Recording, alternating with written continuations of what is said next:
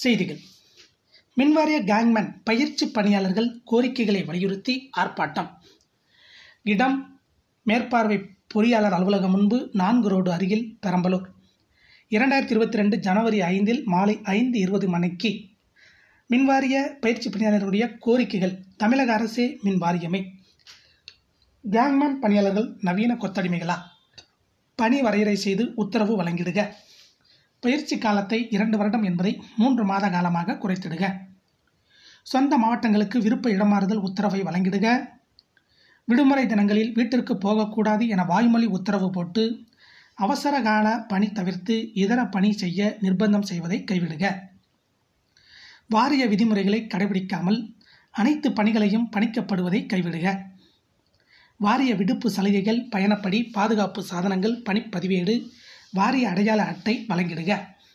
மின் விபத்தை தவிர்க்க பாதுகாப்பு சாதனங்களை வழங்கி உயிருக்கு பாதுகாப்பு வழங்கிடுக. முறையாக பாதுகாப்பு பயிற்சி வகுப்பு நடத்திடுக. கேங்மன் பதவியை கள உதவியாளராக மாற்றம் செய்திடுக. உள்முக தேர்வு மூலம் பதவி உயர்வு வழங்கிடுக. விடுபட்ட கேங்மன்களுக்கு பணி நியமன உத்தரவு வழங்கிடுக. பெரம்பலூர் வட்டத்தில் தொழிலாளர்கள் கோரிக்கைகள் மீது காலநிலை பேச்சுவார்த்தை நடத்தி தீர்வு காண்க. ஒன்றிணைவோம் ஒரு குரலாய் சேர்வோம் ஆட்சியாளர்களின் கவனத்தை ஈர்ப்போம் வெற்றி பெறுவோம் வாரீர் வாரீர். தமிழ்நாடு மின் ஊழியர் மத்திய அமைப்பு சிஐடியு பெரம்பலூர் வட்டக்கிளை திருச்சி மண்டலம்.